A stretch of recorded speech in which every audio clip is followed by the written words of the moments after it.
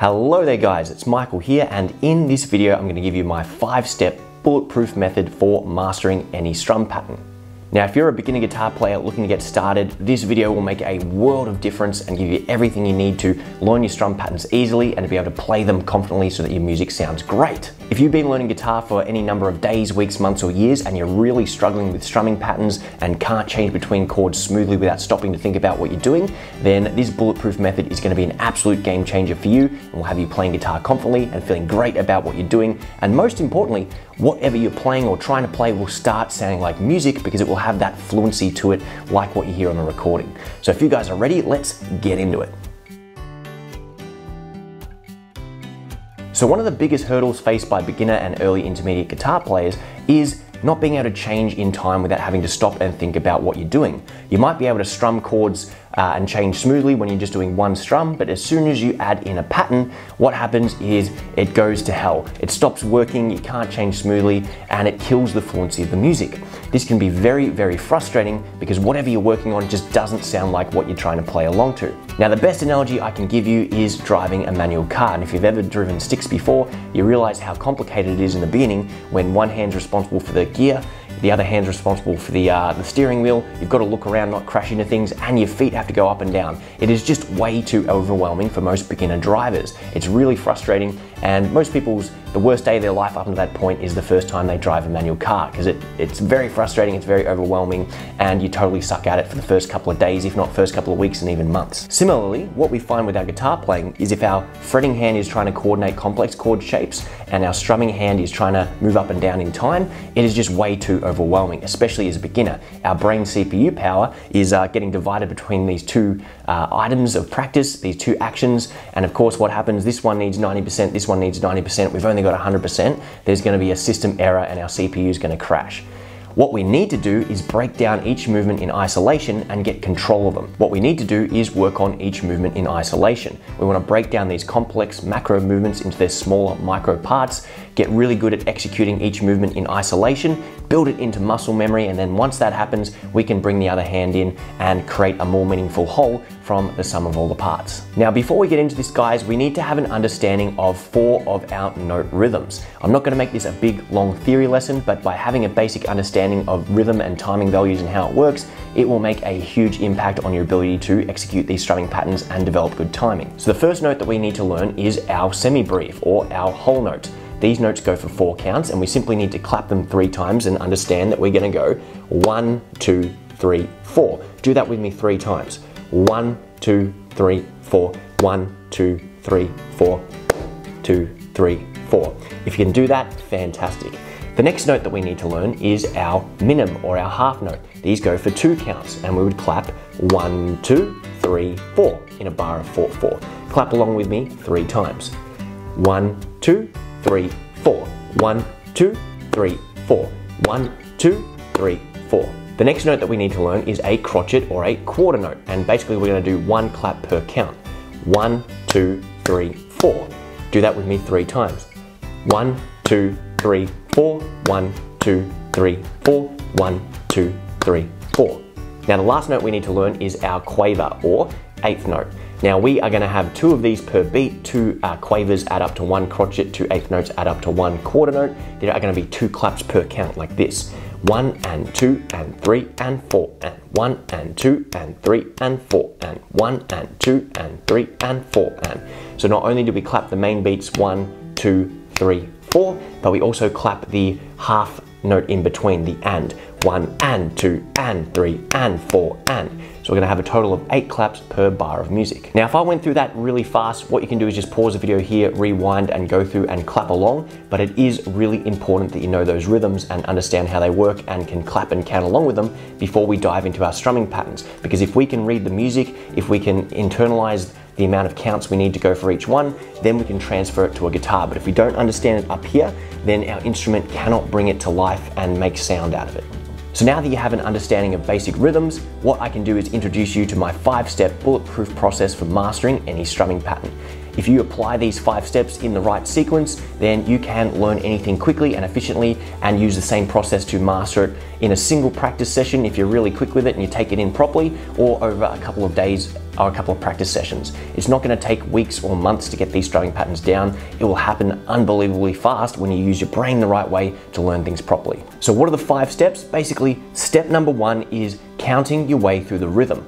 You're not going to have a guitar in your hand for this one. You're simply going to look at whatever notes on the page, whatever the strumming pattern is, and you're going to count your way through it out loud. Again, if you can understand what's going on up here, then you can bring it to life on the instrument. But so many people dive straight to trying to play the chords and do the strumming pattern at the same time. What you need to do is work on the strumming pattern in isolation without any chords or even a guitar. And the very first step is basically saying the rhythm out loud, being able to count your way through it. Step number two is going to be clapping the rhythm. And once again, you do not need the guitar in your hand to do this. You simply need to read the notes off the page while clapping them out loud. It's a very, very basic step. But once again, you need to see the target, you need to aim at the target, and you need to fire at the target. And you need to get good at these basic levels and show your understanding of the strumming pattern and the rhythm by being able to clap it before you complicate things by putting a guitar in your hand. Step number three is when we finally get to grab our guitar and have some fun. But we're not gonna dive straight into playing chords and progressions. No, what we're gonna do is just strum on muted strings. So once again, we're gonna focus 100% of our attention on our strumming hand and just getting the movement down. Once we do that, we'll be ready to move on to step number four, which is basically strumming on a single chord. And once again, we're not diving right into the deep end and trying to complicate things by changing between chords. We don't want to overload our CPU. We're just going to hold a simple shape with our fretting hand and focus all of our attention on strumming. This is basically an extension of step number three, but it's going to sound a lot more interesting because we're going to hear the chord. Now, when we finally have done all of those first steps, one through to four, we are ready to apply what we know to a basic chord progression. Now, I recommend you only do a two chord switch or something very, very simple. And as you get the hang of it, as the muscle memory kicks in, as you can change smoothly without pausing and thinking about what you're doing, you can start tackling more increasingly difficult and complex chord progressions. But in the beginning, we just want to keep it simple with a two chord switch. So now that we know the five steps we need to master any strumming pattern, we are going to apply it to learning the most basic of all strumming patterns. One strum per four counts, where we are going to basically go through using a whole note, or as we know it uh, by another name, a semi-breve there. So step number one is simply reading it and talking our way through it. We can see a whole note strumming pattern. We're simply going to say aloud, one, two, three, four, one, two, three, four, one, two, three, four, one, two, three, four, one, two, three, four. You're gonna count your way through it five times. Then we're gonna move on to step number two, where we clap it. Now, I'm just gonna do it three times for the sake of this demonstration, otherwise it's gonna be a half an hour long video. But of course, pause this video after each step and do it up to five times on your own. One, two, three, four. One, two, three, four. One, two, three, four. One, two, three, four. So get the basic hang of clapping it there. Then it's time for step number three, where we pick up our guitar and we're just gonna lightly rest our fingers on the strings. I'm not gonna squeeze, I'm not gonna fret. I just wanna get this muted sound. I don't want this. It sounds terrible. I just wanna lightly touch the strings. And I'm gonna go one, two, three, four, one, two, three, four, one, two, three, four. So I'm strumming and I'm counting. So once again, it's just a mental game of understanding what I need to do and strumming to execute. Now, as a bonus step, you can say whatever the strumming pattern is as you do it. For example, down, two, three, four, down, two, three, four, down, two, three, four. That can be a really helpful step for some people to vocalize the direction that they need to strum in time with whatever rhythm is presented. We'll show you a bit more on that later. But for now, let's move on to step number four. So step number four is where we finally get to add a chord to it and make it sound really good. So the easiest thing to do is just an E minor chord because it uses all six strings, so we're not complicating the uh, strumming hand task by only having to hit like five strings or four strings and make it harder. We're simply gonna blanket strum down and get everything we need. So we're gonna go one, two, three, four, one, two, three, four, one, two, three, four. And again, it's really, really important we count out loud that we talk our way through it. The more neural connections we make by saying it out loud, by saying the strumming pattern direction, by counting our way through it, the stronger that is going to be in our muscle memory and the greater our ability to retain that information. So it's really important that you say it, even if it makes you feel silly. Now, step number five is where we're going to add in additional chords and apply it to a strumming pattern. Now, my recommendation was just to take a two chord switch, for example, E minor to G, and go E minor, two, three, four, G, two, three, four, E minor, two, three, four, G, two, three, four, E minor, two, three, four, G, two, three, And when you get the hang of basic switches like that, you can add in more and more chords or apply it to a progression like knocking on heaven's door. G, two, three, four, D, two, three, four, A minor, two, three, four, A minor, two, three, four. So there you go guys, you have learned the five-step bulletproof method and you've applied it to your very first basic strumming pattern. Now that wasn't really all that challenging and you've probably done something similar in terms of that strumming pattern without the five steps, but now let's go through two more strumming patterns. So the next strumming pattern we're gonna learn is a basic four to the floor, four strums per chord strumming pattern. Now step number one, we're just gonna basically count out loud as we read the notes off the page or the screen. It's gonna go one, two, three, four, one, two, three, four, one, two, three, four. Make sure you do that five times in your own time whenever you're learning these patterns. Step number two is we're gonna clap it. One, two, three, four, one, two, three, four, one, two, three, four. Step number three, we grab our guitar and on muted strings, one, two, three, four, one, two, three, four, one, two, three, four. And of course, go as slow as you need to. I'm of course rushing a little bit for the demonstration, but simply work your way through it at your own pace as slow as you need to make it smooth and consistent. Step number four, I'm gonna add in a single chord. Again, the E minor chord's easy because it uses all six strings. One, two, three, four, one, two, three, four, one, two, three, four. And the final step, number five, is to do a two chord switch or add to a progression. So I'm going to do E minor and G, E minor, two, three, four, G, two, three, four, E minor, two, three, four, E minor, two, three, four, G. Now guys, hopefully you didn't find that too challenging and I'm guessing the vast majority of you will have found those first two really, really easy and that's great.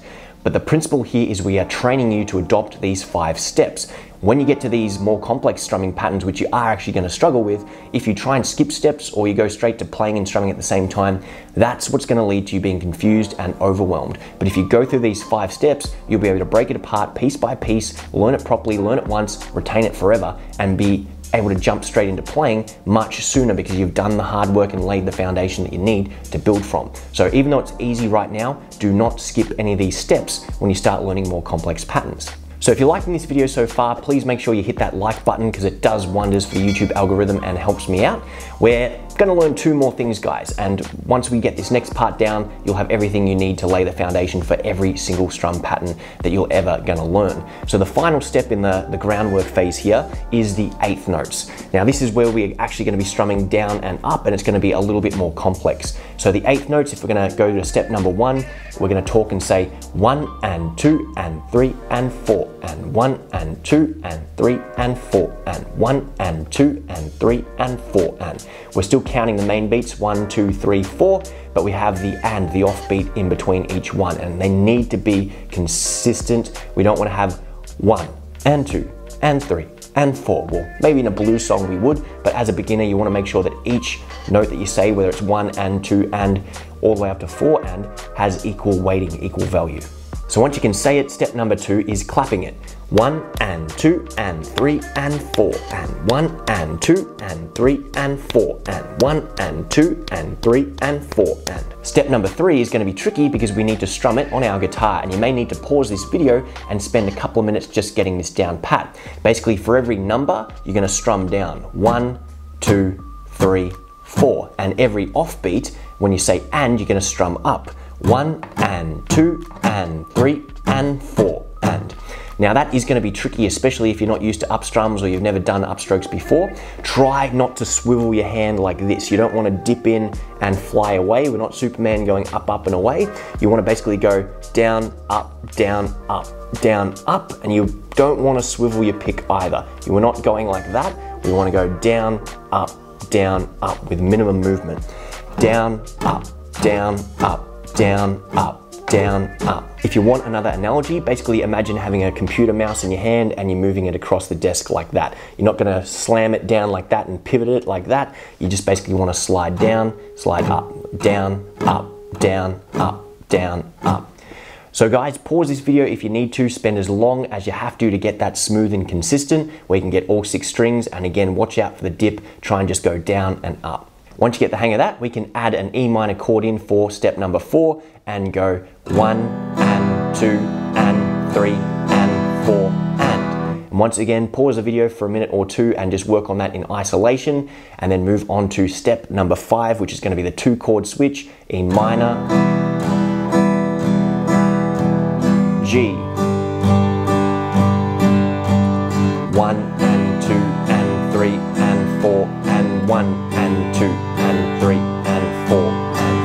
So that is probably going to be way more challenging for you. And if that's the case, fantastic. You're in the exact right zone where you need to work and improve it.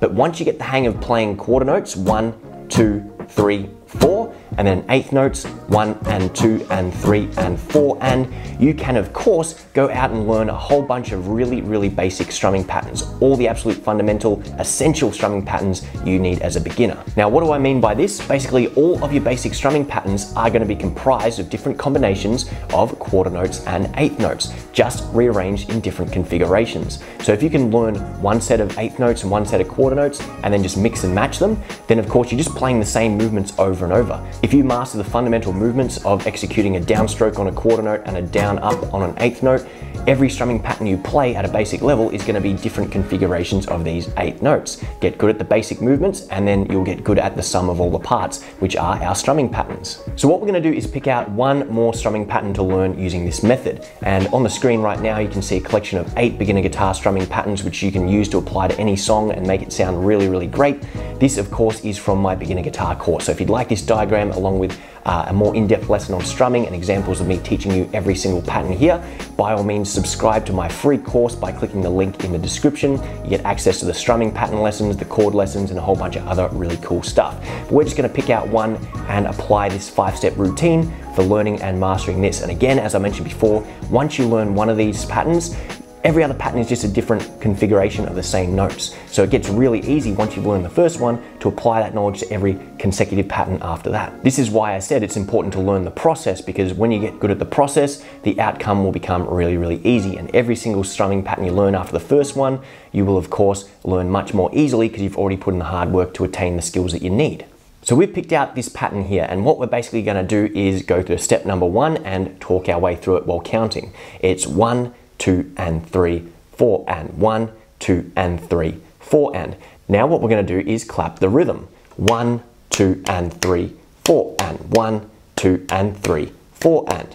Make sure you do that up to five times. And if you want to go that extra step of saying out loud the strumming direction, down, down, up, down, down, up, down, down, up, down, down, up, that can be really, really helpful because it gives you that extra layer of connection in your brain. Step number three, we're gonna strum that on the muted strings. One, two, and three, four, and one, two, and three, four, and, and of course, if you wanna say down, down, up, down, down, up, down, down, up, down, down, up, that will be really helpful once again. Once you get the hang of that, you can add in the E minor chord there and go down, down, up, down, down, up, one, two, and three, four, and, and of course, I'm saying it doing it three times, five times. If you need to do it 10 times, 25 times, 50 times, do it as many times as you need to feel confident with it. Then the final step is taking a chord progression and adding the strum pattern to the chord progression.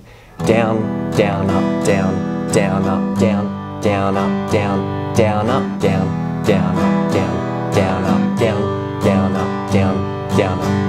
So there you go guys, you've added another strumming pattern to your repertoire and hopefully by following these five steps have gained the ability to learn not just that pattern but any other strumming pattern that you are trying to learn. So what do we do next? Basically, I recommend you hit the like button and subscribe if you haven't done so already so you can keep up to date with all the awesome videos I'm putting out, which are gonna make you a much better player in a fraction of the time it took me.